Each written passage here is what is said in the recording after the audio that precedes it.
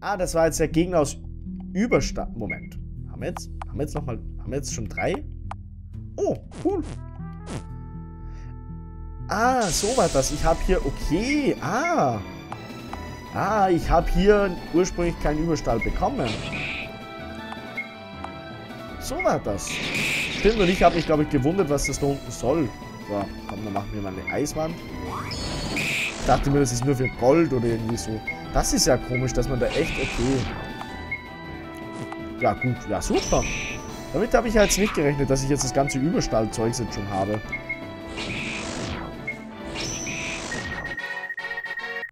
Tja, ja, gut, dann eben, ja, das gefällt mir prinzipiell.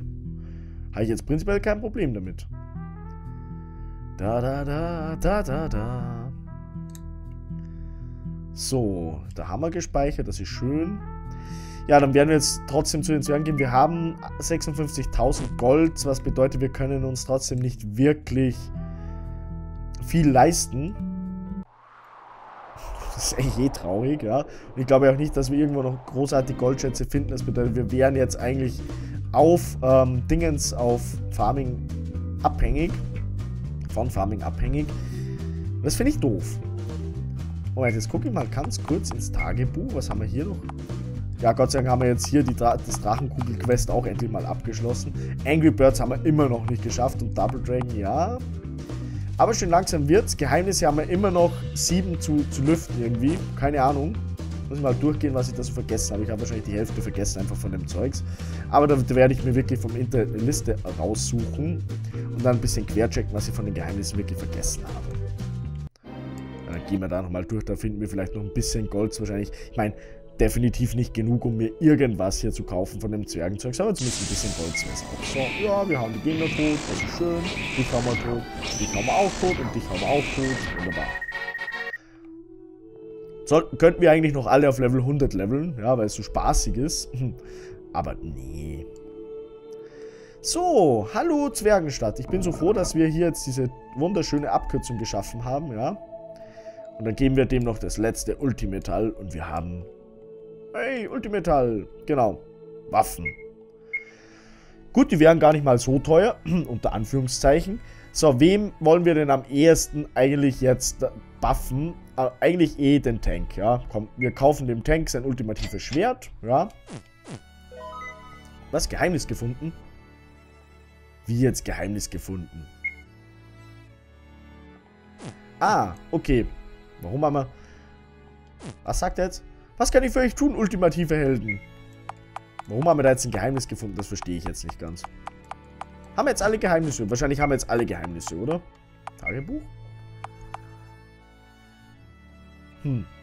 Was waren vorher 32, oder? Jetzt sind es 33. Ja, keine Ahnung. Wahrscheinlich, weil der Laden jetzt äh, komplett ist. So. Was sagt ihr? Wenn der fliegende Spaghetti-Monster herausfordern wollt, solltet ihr vorbereitet sein. Es ist das stärkste Monster, dem ihr je gegenüberstehen werdet. Ich empfehle Stufe 90. Wir haben Stufe... Ja, das sind wir gar nicht mal so weit weg. Also wir haben hier noch Stufe 81, aber... Naja. Auf jeden Fall, wir haben ja jetzt eine ultimative Waffe. So, wo ist die ultimative Waffe? Hier, ultimative Schwert. Ja, das gibt schon noch ordentlich. 230, 740, Wahnsinn. Das gibt schon echt noch ordentlich. Weil wir waren ja doof, weil wir bei den Rüstungen haben wir ja wirklich legendäre Rüstungen. Und die könnten wir wahrscheinlich wieder voll teuer verkaufen. Was kosten denn eigentlich die Rüstungen? Was kosten die Rüstungen bei dir? Ultimative Rüstung 37.500. Na, okay, gut. So, auf jeden Fall, ja, also wir sind jetzt echt weit weit gekommen. Ich werde speichern und wir sehen uns dann das nächste Mal wieder, weil ich mache eine Pause. Also, bis gleich, Leute. Tschüss. Ja, Hallöchen und herzlich willkommen zurück bei Doom and Destiny in einer neuen Aufnahme und wir sind relativ gut schon im Endcontent, ja, Endcontent-Game und so, wie, wie ihr alle wisst und wir werden diesmal ja, ein bisschen ein paar Dinge angucken, ein paar Dinge anschauen. Wir könnten irgendwann mal rechts unten auf die Spaghetti-Insel gehen, nur das ist mir noch ein bisschen zu gefährlich, also da, wo wir durch diesen lustigen Strudel durch müssen. Aber es gibt ja auch noch diese Dr. Seltsam Quest, ja, und die werden wir uns dieses Mal geben. Und zwar, ja, müssen wir die ähm, dort antriggern, wo wir schon mal waren. Nämlich, ähm, genau, Zurück zu MacGuffin ins Schloss. Du, du, du, du,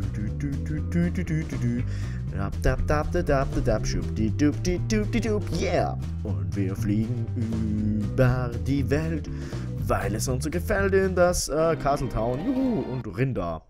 Huch, ähm, ja, Schwarzbild. Hallo? Genau, danke. So, tralalalala. Sehr schön. Oh, da wollte ich ja gar nicht. Moment, aber wir können ja auch noch mal kurz reingucken. Du, du, du, du, du, du. Übrigens, das ist das A-Team und nicht Final Fantasy VII. Ja, es ist das A-Team da herinnen. Da war ich ein bisschen blöd drum, auch der Truck da unten. Wir mal kurz gucken, weil ich, ich, wir müssen nämlich Geheimnisse auch mal durchgehen. Hier können wir, nee, wir können eigentlich nirgendwo rein, aber ich glaube, das Geheimnis haben wir eh hier auch schon bekommen, oder? Weil wir da leider ein bisschen spät dran waren, konnten wir dieses Geheimnis nicht mehr antriggern hier. Ja, also beziehungsweise das Geheimnis schon antriggern, aber die, die Cutscene haben wir nicht mehr bekommen, weil wir das A-Team ja schon getötet haben, wie ihr euch erinnern könnt, ne? Naja, gut, okay. Aber waren wir zumindest hier auch nochmal drin, sehr schön. So, aber wir müssen natürlich nach unten in das Schloss. Ja, von MacGuffin, das ist nämlich da rüber und da hoch. Diese riesengroße, sinnlose Stadt. Also nee, die Stadt ist nicht sinnlos, aber so riesengroß.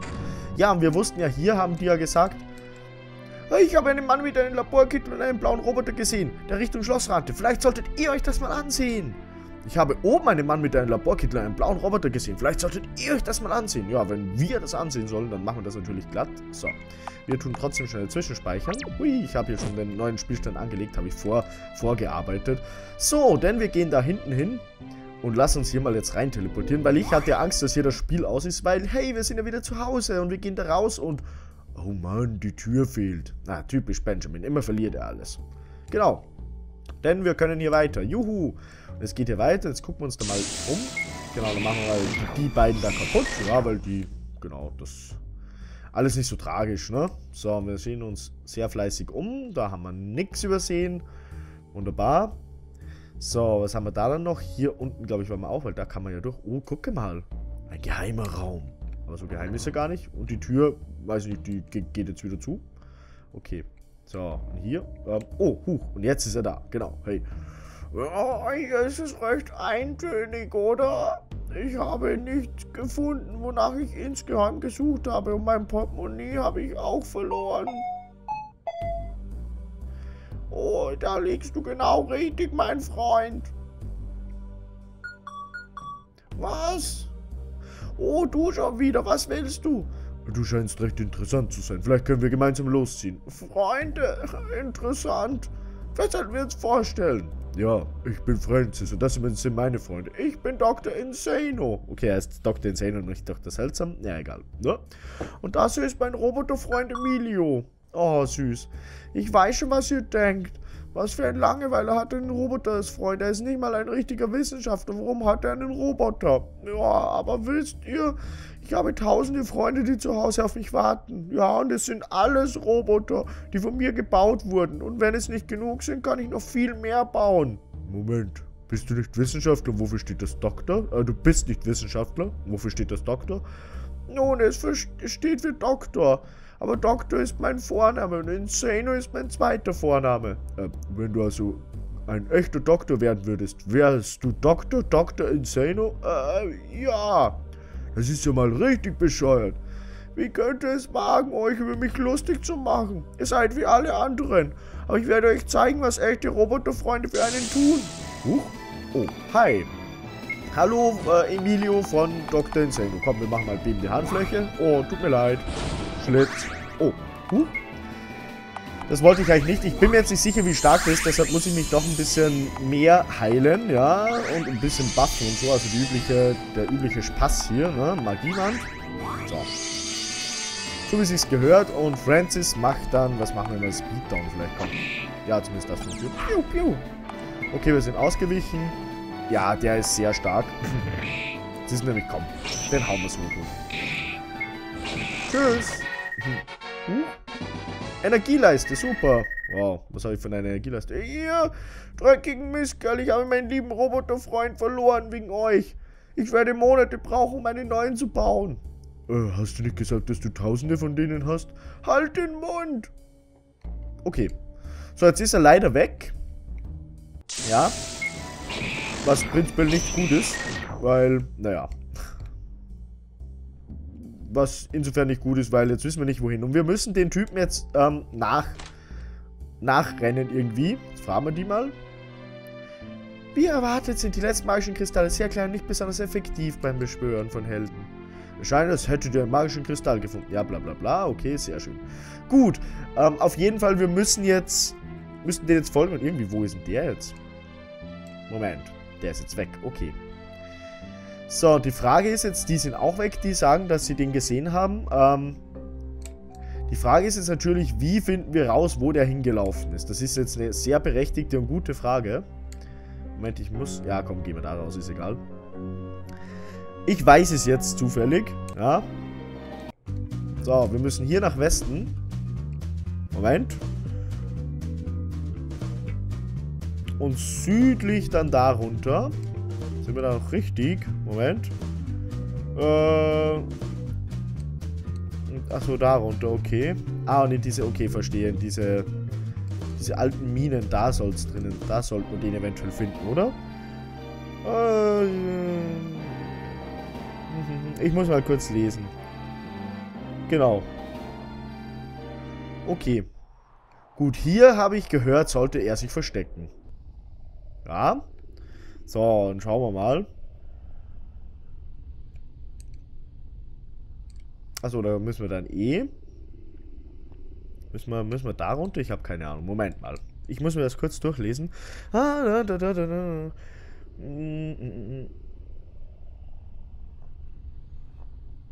Genau. Ja. Gehen wir da, da mal runter. So, la la la la. Und dann hier rechts. Achso, ganz nach unten. Dann rechts. Oh, Fledermäuse, guck mal.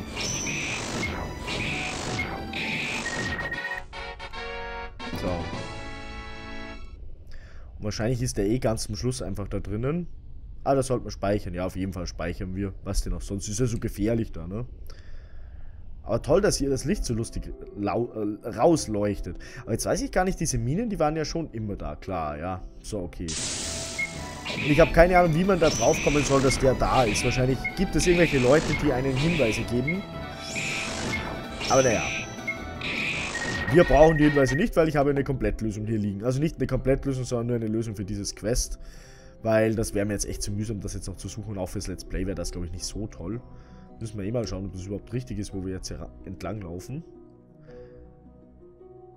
Nö, scheint nicht richtig gewesen zu sein.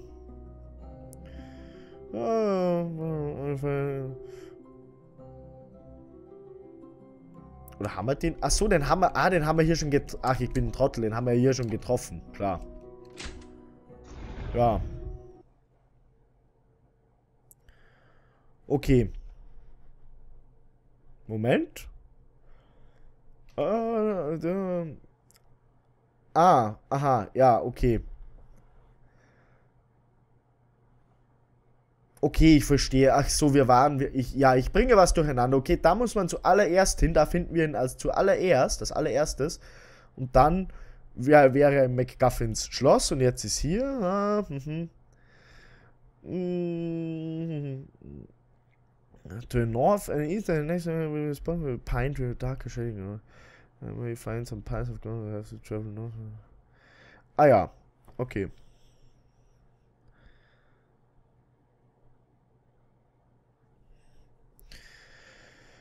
Ähm, okay, wir gehen raus. Ja, ich bin leicht verwirrt. Also hier waren wir ja schon drin und das ist immer der erste Spot für, für Dr. Insane und den hätten wir eigentlich von Anfang an mitnehmen können, haben wir aber natürlich nicht, weil wir doof sind, ja. Aber naja, gut, ich meine, nur weil wir die Goldmine da zum Schluss gefunden haben. So, auf jeden Fall, wir wollen dorthin, wo, wo war denn das nochmal? Hier war das, genau. Hier, da ist nämlich der tote Judas zu finden, da laufen wir nach oben, la. Dann schauen wir mal. Das war, glaube ich, der Weg da, oder? Täusche ich mich da jetzt? Schauen wir mal. Wahrscheinlich täusche ich mich... Nö, nicht mal. Cool. Ich täusche mich nicht. Oh nein, ein Kampf. Ja, machen wir mal kurz kaputt, alle miteinander. Und nochmal. Super. Nö, hätten wir natürlich nicht von Anfang an machen können, weil wir haben ja den Fluxkommissar, der erst voll spielt. So, und auf einmal ist nämlich hier jetzt eine Höhle. Ach, gucke mal. Eine Höhle. Da gehen wir natürlich rein. Oh. Nice, Swan. Schön, weil da bekommen wir wieder Gold. Ah, ganz viel Gold sogar. Ja gut, ganz viel ist, äh, nee, ist natürlich übertrieben. Oder hätten wir da schon früher zurück uns teleportieren können? Ich habe keine Ahnung. Ir irgendwann, wo wir ein magisches Relikt gefunden haben. Oh, guck mal, lauter, lauter kleine Babyroboter. Süß. Hm. So. Da ist natürlich rein. Da finden auch wieder ein bisschen Gold. In Form von Rup Rupien, ja. Schön. So gefällt mir das. So. Und nach rechts. So, und hier steht, oh mein Gott, wir müssen unbedingt speichern. Speichern ist ja essentiell wichtig, weil sonst sterben wir. Ja. Und wenn das Spiel das sagt, dann komm, dann machen wir es auch, obwohl ich glaube nicht. Ich glaube nicht. Oh. Ja, endlich. Dieser Kristall ist perfekt. Wirklich? Er sieht aus wie der andere auch. Hey, das ist der Komiker von vorhin. Ihr, nicht schon wieder. Was macht ihr hier? Äh, wir erledigen heldenhafte Dinge. Und du? Was machst du hier? Was ich hier tue? Wissenschaft natürlich. Äh, wirklich? Äh, nun, ja. Hast du auch, äh, hast du auch die nötige Erlaubnis? Ähm, naja. Ohne Erlaubnis darfst du keine Wissenschaften machen. Aber ich mag keine ordinäre Wissenschaft. Ich beschäftige mich mit verrückter Wissenschaft. Wirklich? Natürlich. Und ich kann es beweisen. Ja. Hi. Video 1.0.0.1. Okay, da ist ein bisschen ein Upgrade. So, wird uns zwar wieder heilen, natürlich, aber probiert haben wir es. So, ich glaube trotzdem, dass die nicht sehr stark sind, deshalb Feuerwand. Die sind doch sehr stark. Machen wir das da. Oder? Ah, oh, die sind, oh, die sind doch stark. Ja, komm, da machen wir doch lieber vielleicht ein bisschen einfliegen. Naja, gut, doch nicht so stark. Okay. Ich habe mich getäuscht. Komm, Angriff. Oh, einer hat einen Bart. Doch, guck mal, einer hat einen Bart. Voll süß. So. Ja, toll. Pfiuh, pfiuh. Ja, seht ihr also nicht sehr stark. Juhu. Und wir Charisma. Wir haben wieder komische Energieleisten gefunden. Ach komm, er ist uns schon wieder entwischt. Wie macht er das? Das ist eine gute Frage. Können wir hier irgendwas uns öffnen, aufklauben? So? Nö, schade. Okay, gut, dann müssen wir wieder raus. So. Gut, dann ähm, raus da, raus da, raus da, raus da und... Huch! Der Leichnam des armen Judas fehlt. Ja. Ähm, ich, ich lese jetzt mal wieder kurz. Uh, back to Neo Sushi Island, go back to Underground Lab on the island and... Ah, ja.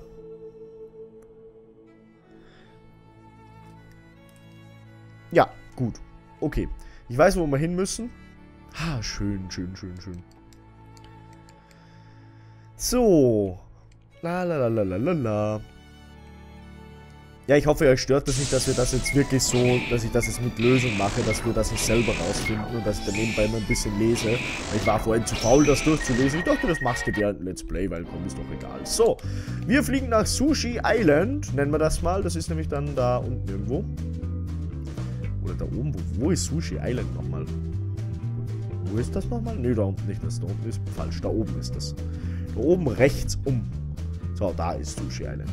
Und da soll es jetzt irgendwo das Labor geben. Das ist da unten. Ja, und da gehen wir hin. Hallo Labor. Hui. Genau.